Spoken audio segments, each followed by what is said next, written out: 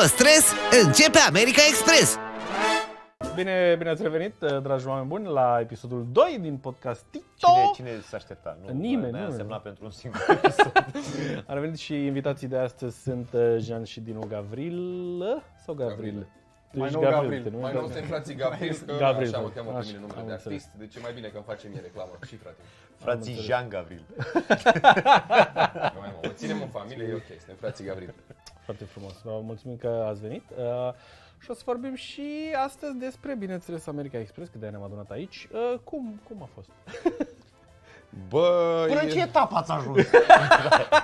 am câștigat? Ați câștigat? Voi ați câștigat? Noi am câștigat? Noi am câștigat. Așa. ne uitam la niște imagini, uh, noi am vorbit și cu Bălanca despre tine.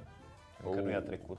Da. Uh, tu ai ridicat-o prima. La o- cer. Nu mai spune că am... Deci fii atent, acum e off topic. Da, asta e foarte După, important. după filmările de la America Express, m-a rugat să facem un videoclip împreună.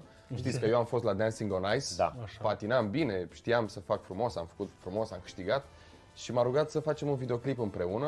Uh, Avea ea o idee să mergem undeva la un lac înghețat prin Austria, să stau cu ea o ca- într-o cabană, să filmăm, să fim așa.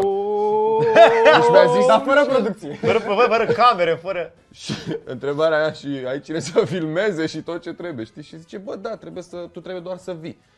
Piesa se numește Suflete pereche și tu trebuie doar să vrem să, dans, să dansăm și să patinăm pe un lac înghețat, știi?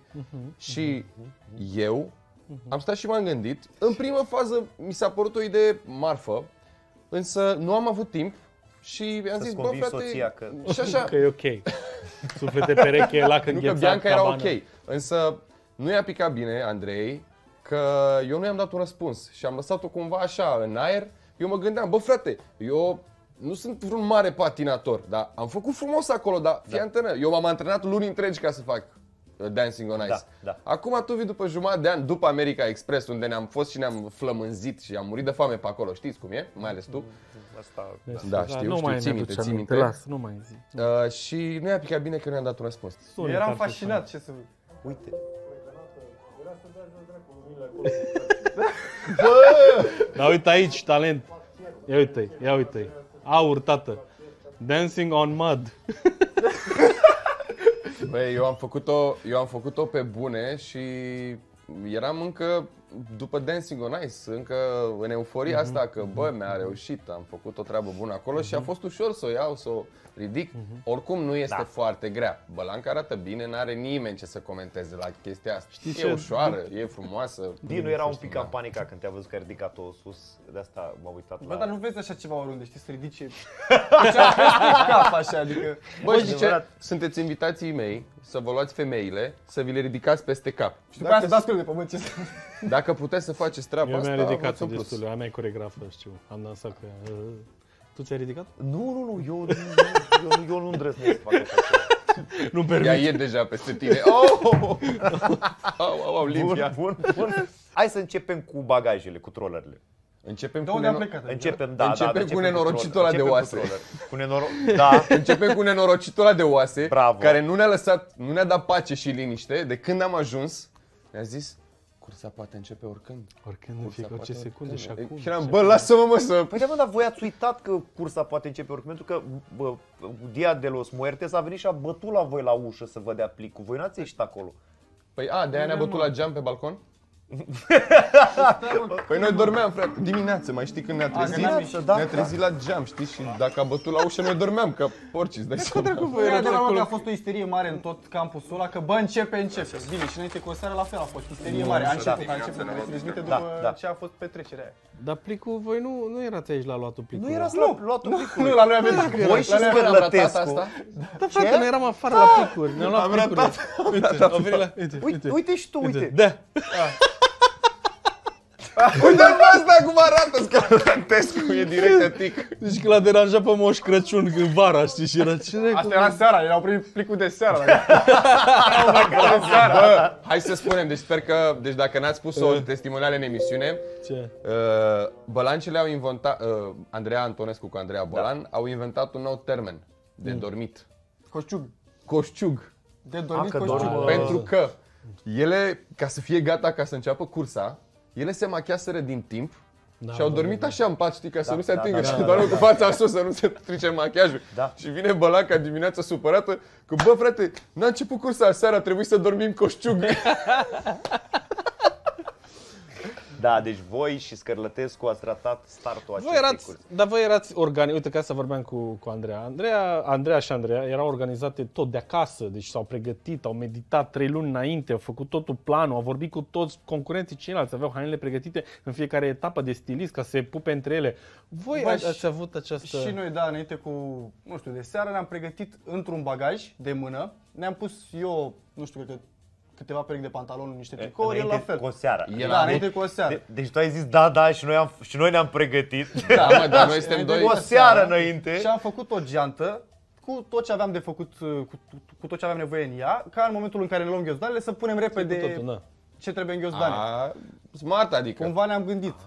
Dar nu ne-am gândit că ne o să ne luăm ghiozdanele după, nu știu, 12-15 12 ore. ore și încă 500 Așa, km. Și am făcut geanta aia de mână care trebuia să o cărăm cu așa, cea mai grea, avea vreo 30-35 de kg și îți dai seama că era mai greu să car geanta aia decât să car trolele, adică n-a fost cine știe ce- Trollerele erau pe ce-a role, fost știi? idee. Era ok. Dar geanta era cea mai grea și gândește-te, geantă grea 30 de kg cu bandă din aia, te tăia la umăr. Serios? Da. Da, da, o să vezi, e o geantă portocalie, cred Deci că... pe, pe toți ți-au prins cred că surprindere apare. planul ăsta. Da. Toți au pregătit într-un fel și i-a încurcat după aia bagajul ăla.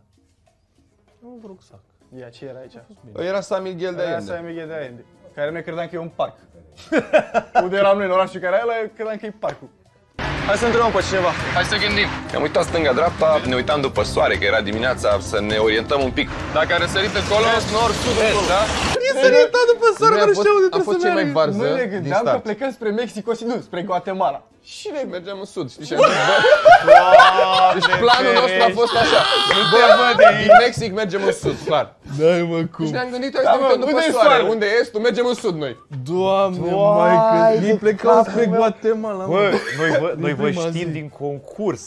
Noi vă știm Vai de dacă mine. ne spuneți de astea. Astea sunt fascinante, mă. Deci planurile astea deci tu te-ai luat după soare. Da. și eu aș râde de mine, exact. Și soarele era jale? Nu! Deci nu, bă, N-am ca treabă! Nu mergi în Guatemala acum, pe, rezumatul plecării de la hotel, plecării noastre, a fost în felul următor. V-am văzut pe voi primii, am zis, bă, hai să stăm uh, imediat în spatele vostru. Da. Faza a fost că noi ne-am învârtit două ore în orașul ăla, ne-am făcut nu știu ce, am găsit o femeie, ne-a plătit un taxi, ne-a dus la autogară. Dar vezi că uh, când am plecat cu taxiul, ați plecat și voi cu taxiul. Cumva, în aceeași la un- direcție. da, la un Doar moment că dat, voi ați am făcut o dreapta și nu ne-ați drept. Și ne-am zis, uite și pe proștii ăia se duc în dreapta. Evident, noi, noi fiind proștii, ne-am dus la autogară, ne-am rugat de acolo de toată lumea să ne ia să ne ducă, nu ne-a dus nimeni nicăieri și două ore mai târziu Am eram ajuns exact la la hotelul hotel. în care stăteam. Era la hotel. Doamne, și soarele? Deci două ore mai târziu noi eram fix în fața hotelului, nu venea să cred, era arena aia de tauri, dacă mai știți, Da. rotundă Da. așa. Și facem, vedem arena, știi, trecem pe lângă ea și zicem, bă, ne-am întors de unde am plecat, deci poți ne-am pierdut două ore, eram, fac, plecam acasă direct. Incredibil. Și geanta aia, voi, deci că erați de la paramedici, erați de Da, la... aia roșie. Vezi că Era e, geantă e, de navigator aia, o au toți constanțenii. A, O da? primesc- e geantă de, uh, păi e al, i-a dat-o tasul, socrusul. Știi? Tata lui Gagică sa, Da. comandant de vas, i-a zis, uite mă, nu de-astea la comandant de vas. vapoare, genți de-astea de Numai băieți, să de-astea, le vezi acolo. noaptea, De fosforescente. paramedici. Bă, unde dracu te duci? La pasarelă! Păi da, stai că vin și eu! Sunt Gavrili în spate. Piața San Miguel de Allende. Se otra ciudad, otra ciudad. Bă, cumva, după ce am pierdut noi la două ore, cumva am ajuns pe strada bună. Tot așa, autostradă destul de mare, avea vreo patru benzi, care ducea către San Miguel de Allende. Eu de-aia am zis că nu am recunoscut pe ce stradă mergeați voi. Nu mă, deci nouă per total ne-a luat vreo 4 sau 5 ore să plecăm de la hotel, înțelegi? Deci ne-am învârtit odată, am ajuns tot acolo, după am făcut autostopul ca să ne ducă pe strada care trebuie. Ia uite, Deci eram pe la autogară pe aici, eram... Așa. Deci 4 ore mai târziu noi eram la vreo 500 de metri de hotel, Nu înțelegi? există bă, așa. Deci eram în cealaltă parte a orașului, Da, de exact. cu un exact. semn cu Guanajuato doar. Și noi eram în Guanajuato, știi? Noi eram în Guanajuato și eram cu Bă, așa e. Deci voi făceați autostopul în În orașul Pitești, care eram. în Pitești, Pentru cu o Pitești. pagardă pe care scrie Pitești. Da. Da! Guanajuato. Gua- Which way?